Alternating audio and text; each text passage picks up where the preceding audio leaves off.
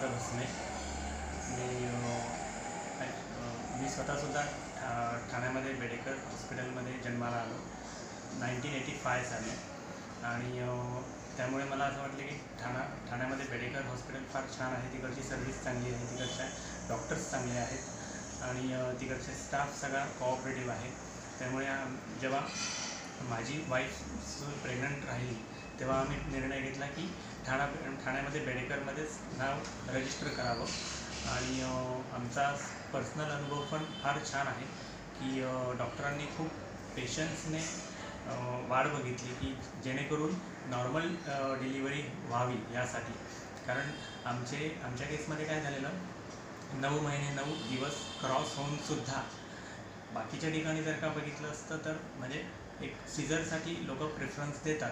पण बेडेकरमध्ये काय झालं? डॉक्टरांनी स्वतः अजून दोन तीन दिवस वाट बघण्याचा निर्णय घेतला. तो आम्हाला फार छान वाटला.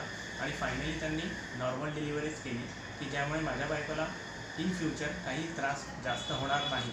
आणि आता दोघेही म्हणजे माझी वाईफ आणि माझा मुलगा दोघेही फार छान आहेत. तर म्हणजे मला एवढं त्यांनी चांगलं सर्व्हिस आणि एवढं चांगलं त्यांनी कॉपरेटिव्ह केल्याबद्दल त्यांना मनपूर्वक धन्यवाद.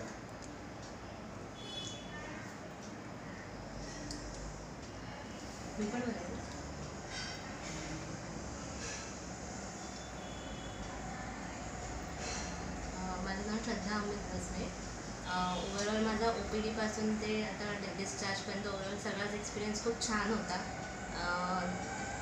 नॉर्मल डिलेवरीचा म्हणजे नॉर्मल डिलेवरीचं ह्याच्यासाठीच आम्ही इथे नाव टाकलेलं की नॉर्मल डिलेवरीज इथेच प्रिफर केली जाते. आणि म्हणजे त्याच्यामुळे ते ज्या ह्याच्याने मी इकडे हे के नाव हे केलेलं ते म्हणजे कसं ते तो हेतू साध्य झाला. आणि म्हणजे नॉर्मल डिलेवरी झाल्यामुळे म्हणजे मी खूप लवकर दोन दिवसात रिकवर झाले ओव्हरऑल माझा एक्सपिरियन्स खूप छान होता इथे. थँक्यू.